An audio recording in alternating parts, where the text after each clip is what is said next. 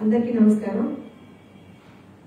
ఇవాళ తెలంగాణ రాష్ట్రంలో ప్రజలు ఎదుర్కొంటున్నటువంటి సమస్యలు అసలు వాటికి ఎక్కడ కూడా అంతం లేదా అని అనిపిస్తుంది. ఎందుకంటే గత కొన్ని రోజులుగా మనం కనుక చూస్తే రాష్ట్రంలో ఉన్నటువంటి అన్ని వర్గాలు అది విద్యార్థుల దగ్గర నుంచి రైతుల దగ్గర నుంచి మహిళల దగ్గర నుంచి ప్రతి ఒక్క వర్గం కూడా ఇవాళ రోజున ఇబ్బందులు పడుతున్నటువంటి పరిస్థితి మనం చూస్తాం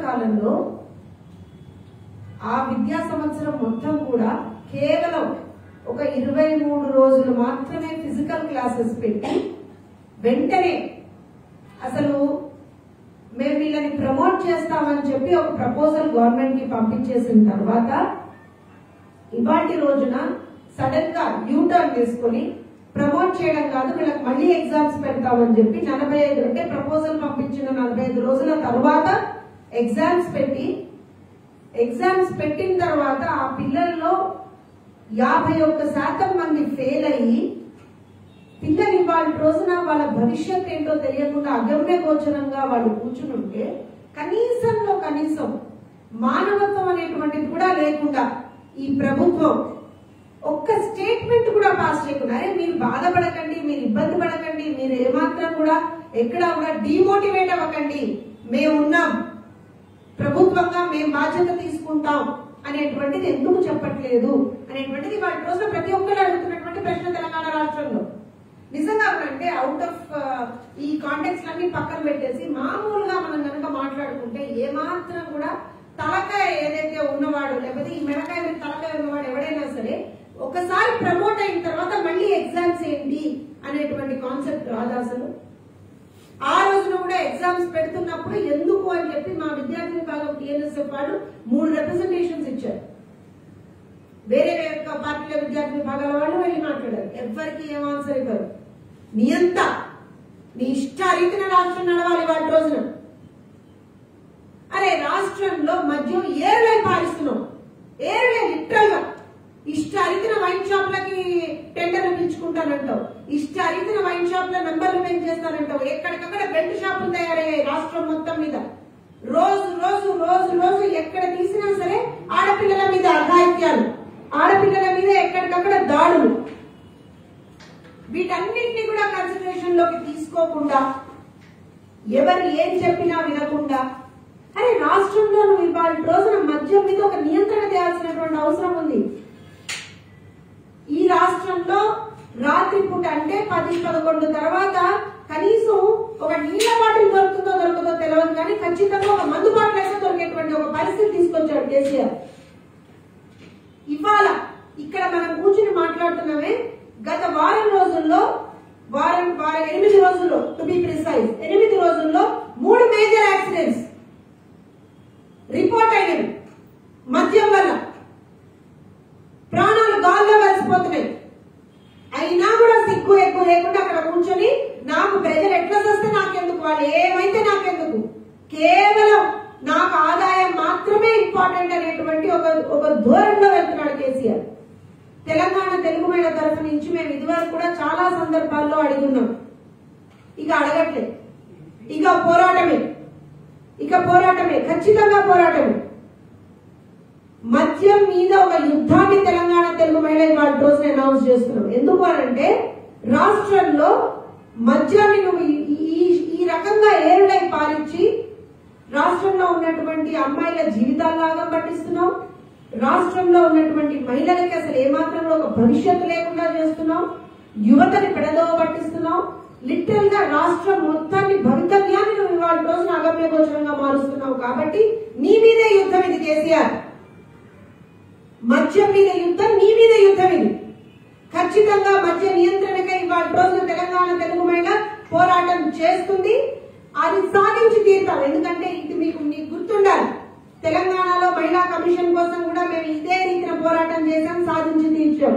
ఇవాటి రోజున మద్యం మీద కూడా ఒక పోరాటం మేము చేస్తాం సాధించుకొని తీరుతాం. ఎందుకంటే ఇవాళ రోజున రాష్ట్రంలో మద్యాన్ని నియంత్రించాల్సినటువంటి ఆవశ్యకత ఉంది. అని ఒక్క ఇష్యూ కాదు. రైతుని రోడ్డు మారేసాం రైతులకు సంబంధించి ఉన్న వాళ్ళు వాళ్ళు వాటి రోజున పండించిన ఒడ్లు కొనవయ్యా బాబు అని అంటే ఎప్పుడో యాసంగి గురించి మాట్లాడతాం నువ్వు బీజేపీ మీదే బీజేపీ నీ మీద వేస్తాడు ఇదేనా నువ్వే అధికారంలో ఉంటావు రాష్ట్రంలో నీ ఆధ్వర్యంలోనే ఇక్కడ కొనుగోలు జరగాలి. నువ్వే రోడ్ల మీదకి వచ్చి నేను ధర్నా దీక్షలు చేస్తా అంటావు. ఇది ఎక్కడ న్యాయం? నిన్నగాక మొన్న ఒక మహిళా రైతు చేసినటువంటి అప్పులు తీర్చేటువంటి దారి కనపడక ఆత్మహత్య చేసుకున్నటువంటి పరిస్థితి. ఇట్లాంటి ఒక అంటే ఒక మహిళా రైతునే కాదు మనం చూస్తే గత రెండు నెలల్లో రాష్ట్రంలో కొన్ని వందల మంది రైతులు ఆత్మహత్యలు చేసుకున్నారు. కొన్ని ఇన్సిడెంట్స్ కనుక మనం చూస్తే వరి కుప్పల మీద అక్కడికక్కడ గుండాయి చచ్చిపోయినటువంటి సర్కమ్స్టాన్సెస్ చూస్తున్నాం మనం. ఇంత జరుగుతున్నా సరే కనీసం ఒక ఒక చీమ కుట్టినట్టు కూడా లేకుండా ఏమాత్రం కూడా ఒక రెస్పాన్సిబిలిటీ లేకుండా ఎక్కడా కూడా ఒక మాట మాట్లాడకుండా నా ఇష్టమైంది మాత్రమే నేను మాట్లాడతాను నేను వాటి రోజు దేని గురించి మాట్లాడదలుచుకున్నా వడ్ల గురించి మాట్లాడదలుచుకున్నా దేని గురించి మాట్లాడదలుచుకున్నా? బీజేపీ తిట్టడానికి మాట్లాడదలుచుకున్నా అంతే.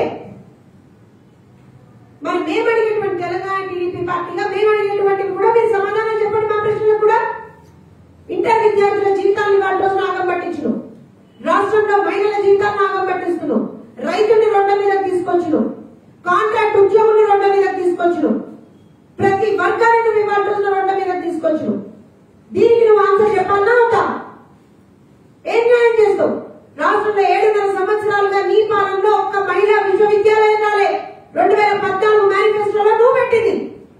మహిళా విశ్వవిద్యాలయం పెడతా అని చెప్పి. నువ్వు పెట్టింది మహిళా బ్యాంక్ పెడతా అని చెప్పి. ఎక్కడ పోయినాయి హామీలు ఏమైపోయినాయి? తెలంగాణ టీడీపీ పక్షాన ఖచ్చితంగా నీ హామీలన్నీ గుర్తు చేస్తూ ముఖ్యంగా మహిళలకి నువ్వు ఏవైతే హామీలు ఇచ్చావో వాటన్నిటిని కూడా నీకు ఇవ్వాలి నుంచి రోజు రోజుకు గుర్తు చేస్తాం. మద్య నియంత్రణకై మా పోరాటం అనేటువంటిది ఉధృతం చేస్తాం. ఖచ్చితంగా ఉన్నటువంటి పదిహేడు పార్లమెంట్లలో ప్రతి పార్లమెంట్ లోనూ కూడా ఒక పోరాటం చేస్తాము. ఖచ్చితంగా నీవు దిగొచ్చేంత వరకు మద్యంపై ఒక నియంత్రణ అనేటువంటిది తెలంగాణ రాష్ట్రంలో వచ్చేంత వరకు కూడా తెలుగు మీద పోరాటం చేస్తూనే ఉంటది. నీకు దిగిరాక తప్పదు. ఖచ్చితంగా దిగిరావాల్సినటువంటి పరిస్థితి ఏర్పడుతుంది. ఇష్టారీతిన మాట్లాడుతూ ఎవరిని పడితే వాళ్ళని ఎంత మాట పడితే మాట్లాడటము ఇదంతా కాదు. ఈ ఈ కలబొల్లి మాటలు ఇవన్నీ ఇక నడవవు. మేము అడుగుతున్నాం ఇవాళ రోజు తెలంగాణ మహిళలుగా మేము అడుగుతున్నాం. నీవు అధికారంలోకి వచ్చినప్పుడు ఇచ్చినటువంటి హామీ ఏంటిది? మహిళ విద్య ఇది చేస్తా అంటుంది పోరాటం చేస్తానంటుంది మహిళ ఆర్థిక స్వావలంబనకై నేను పోరాటం చేస్తానంటుంది ఎక్కడ పోయినాయి ఆ హామీలని ఇవాళ రోజు నువ్వు చేసిందల్లా ఏంటిది అని అంటే మద్యాన్ని రాష్ట్రంలో ఏరులై పాలిస్తూ ఉన్నటువంటి వ్యవస్థలన్నింటినీ కూడా దిగజారుస్తూ ఎక్కడికక్కడ ఒక నియంతృత్వ ధోరణి నియంతృత్వ పోకాన్ని నువ్వు ప్రదర్శిస్తున్నావు తప్పించి ఏమీ లేదు. మళ్ళీ చెప్తున్నా ఖచ్చితంగా ఇది హెచ్చరికే. తెలంగాణలో మద్యంపై యుద్ధం మొదలైంది కేసీఆర్ పై యుద్ధమే ఇది తెలుగు మహిళ తరఫున తెలుగు మహిళ ఆధ్వర్యంలో కేసీఆర్ పై యుద్ధమే థ్యాంక్ యూ